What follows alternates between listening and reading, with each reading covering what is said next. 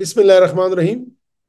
अस्सलाम वालेकुम व्यूअर्स आप सब जानते हैं कि मेरा यूट्यूब चैनल आ, कोई सियासी चैनल नहीं है और नहीं मैं आ, अपने पोस्ट्स में अपने वी लॉग्स में आ, सियासत पे बात करता हूँ।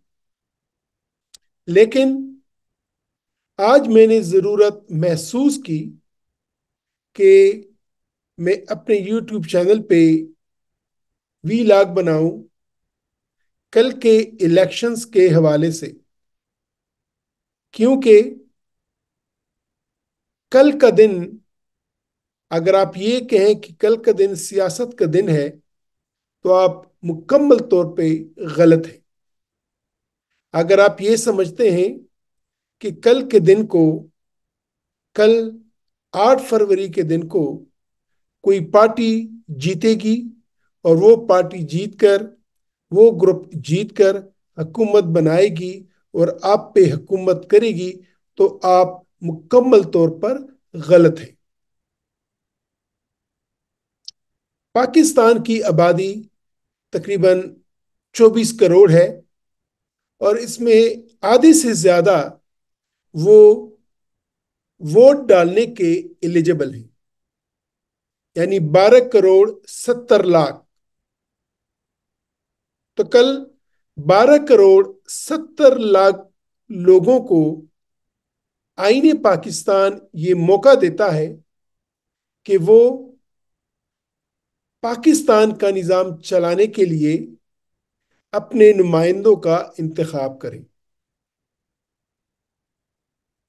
ये आपका बुनियादी हक है। कि आप जिस पार्टी को भी, जिस कैंडिडेट को भी, जिस ग्रुप को भी, जिस माइंडसेट को भी अपने लिए बेहतर समझते हैं, पाकिस्तान के लिए बेहतर समझते हैं, आप उसका चुनाव करें। कल का दिन आपका दिन है। कल के दिन को इस्तेमाल करने के लिए आपको किसी का इन्फ्लुएंस लेने की ज़रूरत नहीं है। आपको किसी को देखा देखी अपना फैसला नहीं देना।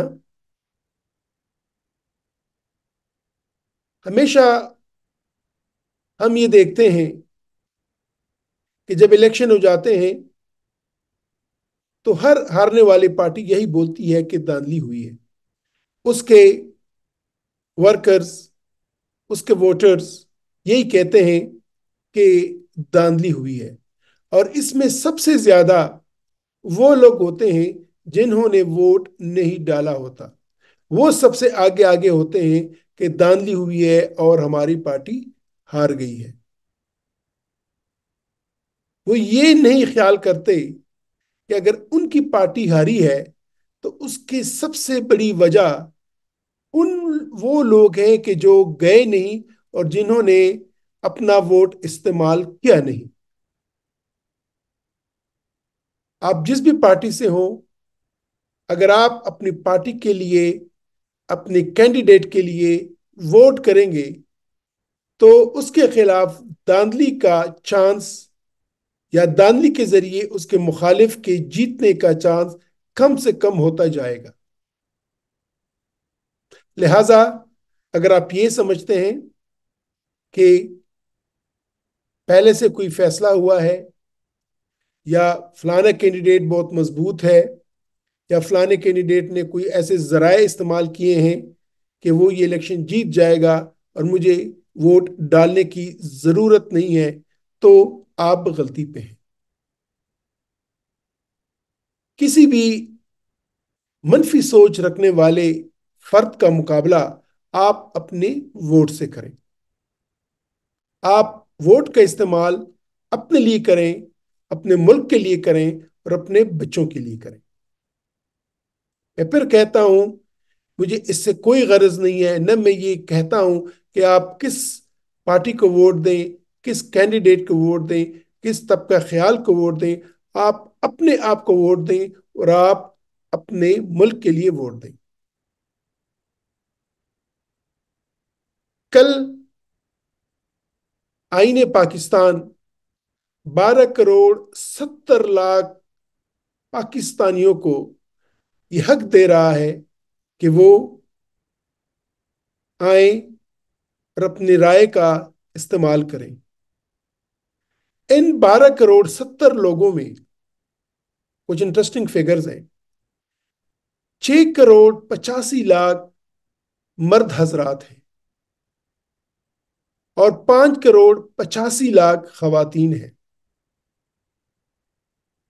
तो अगर आप मर्द हैं या खातून हैं, दोनों के लिए तक, यकसा मौाक़े हैं कि आप जाएँ और अपने हक का इस्तेमाल करें।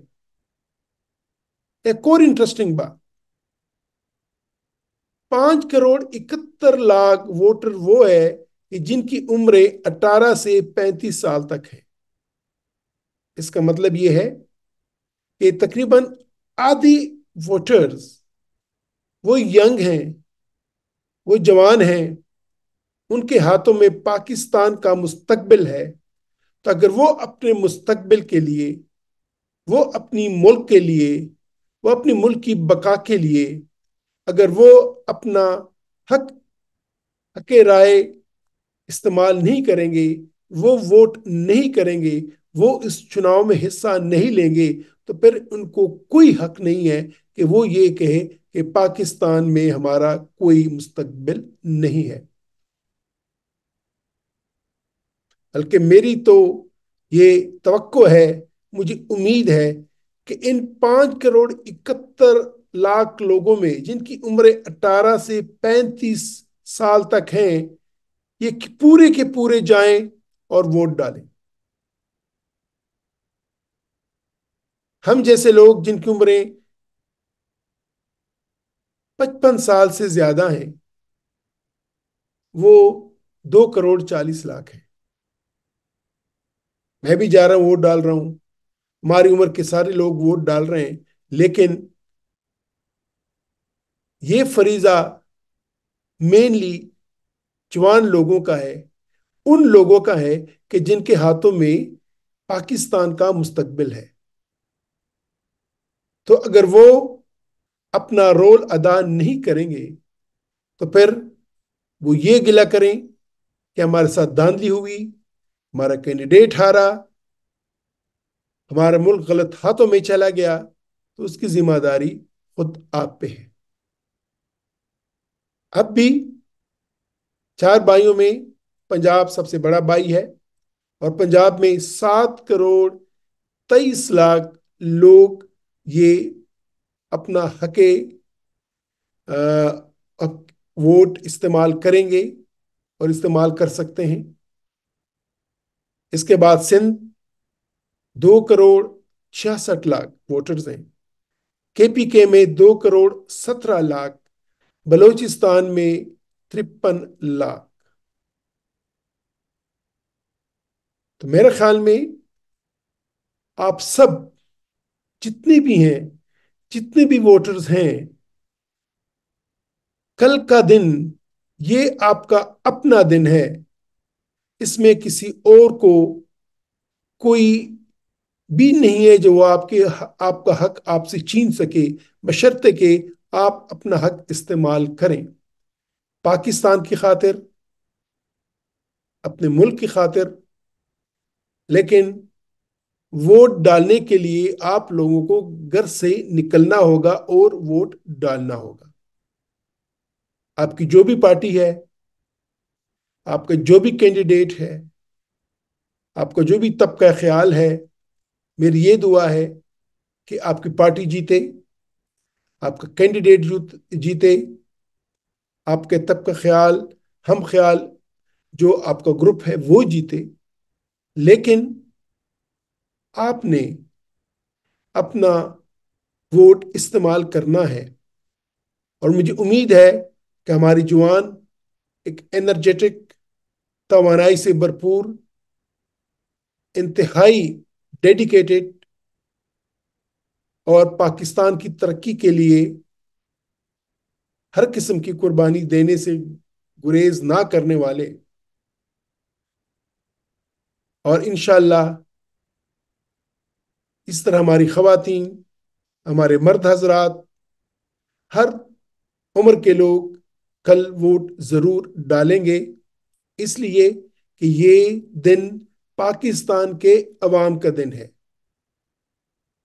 अगर आप अपना वोट इस्तेमाल नहीं करेंगे तो फिर आपको कोई हक नहीं पहुँचता कि आप कल को गिला करें कि मेरी पार्टी हार गई, मेरा कैंडिडेट हार गया। मेरा ग्रुप हार गया। गलत लोग बरसरे इकतदार आए। कुछ मिनियारिटी मेजॉरिटी पे हावी हो गई। ऐसा सिर्फ़ उस वक्त आप कहने के अहल होंगे कि जब आप लोगों ने अपना हक इस्तेमाल किया होगा। हाँ आपने अब सरक ने अपना हक इस्तेमाल किया। बारह करोड़ सत्तर लोगों का हक है कि वो वोट डालें। उन्होंने वोट डाला। इसके बाद आपका मुखालिफ ग्रुप जीता है, मुखालिफ पार्टी जीती है तो आपको इसको मान लेना चाहिए कि आप जो सोच रहे हैं, आप मेजॉरिटी जो है वो कुछ और सोच रही है, या उनका और आपके ख्याल में फ़र्क है। तो ठीक है, जिस तरह ये आपका पाकिस्तान है, इसी तरह ये उनका भी पाकिस्तान है।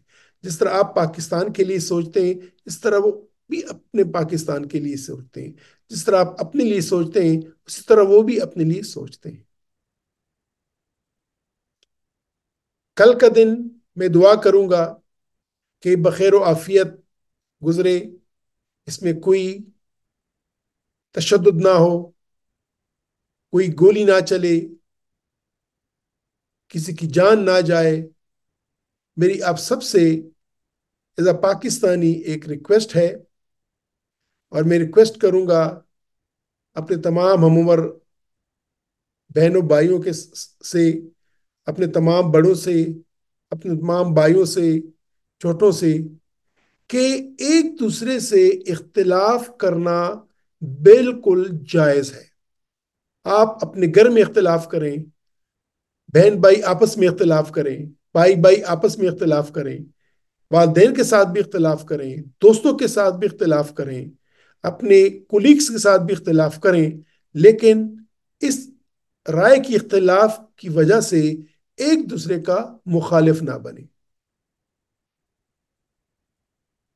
इख्तलाफ करना इंसानियत है। अल्लाह ताला अशरफुल मखलूक़ात है। और इख्तलाफ नहीं करेंगे तो अशरफुल मखलूक़ात नहीं ठहरेंगे। लेकिन जहाँ पे इख्तलाफ ज़रूरी है, वहाँ पे इख्तलाफ ना करना हम अशरफुल मखलूक़ात नहीं ठहरेंगे। लेकिन इख्तलाफ की बुनियाद पर किसी का मुखालिफ हो जाना ये हैवानियत है। तो चूँकि मेरे कुछ व्यूवर्स हैं जो मुझे फॉलो करते हैं, मेरे दोस्त, मेरे कोलीग्स मेरे पेशेंट्स मेरे हम वतन मेरी आप सबसे ये दरख्वास्त है कि एक तो आप बाहर निकलें, वोट डालें कि ये आपका अपना हक है, ये आपका दिन है, कल का दिन आपका दिन है। और जिसके साथ भी आपका इख्तलाफ हो, इख्तलाफ ज़रूर रखें, इख्तलाफ को एक्सप्रेस भी करें, लेकिन खुदारा इख्तलाफ को वजह बना के किसी का मुखालिफ ना बने, किसी को नुकसान पहुँचाने की कोशिश न करें। कोई गोली ना चले, किसी की जान ना जाए। अगर कल इलेक्शन के दिन जब हम इलेक्शन ख़त्म हो जाएँ और पाकिस्तान के किसी भी कोने से ये खबर ना आए कि कहीं पे गोली चली है, कहीं पे झगड़ा हुआ है, कहीं पे कोई जख्म, जख्मी हुआ है, कहीं पे कोई जान से चला गया है, ये न्यूज़ ना आए तो यकीन करें, जो भी पार्टी जीतेगी, जो भी पार्टी जीती है सबसे बड़ी बात ये होगी कि ये पुरअमन इलेक्शन रहे। और पाक, पाकिस्तान अल्हम्दुलिल्लाह दुनिया के अजीम कौमों में से एक है और कौमी की कौमों की ज़िंदगी में पाँच साल ये आप ये समझ लें कि एक दिन के बराबर है होता है। तो ये इलेक्शंस आएँगे बार बार आएँगे लेकिन आप पे ये हक है कि जो दिन कल को आइन दे रहा है, इसका भरपूर इस्तेमाल करें।